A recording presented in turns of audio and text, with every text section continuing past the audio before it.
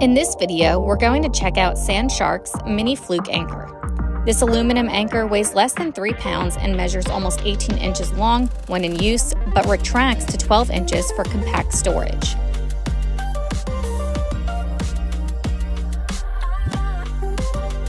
As we arrive in the shallows of Crab Island in Destin, Florida, we find a good spot to anchor up. First, we attach the included bungee anchor line to our jet ski and then toss out the mini fluke anchor. The anchor self sets, therefore, there's no reason to get off your ski or in the water if you don't want to.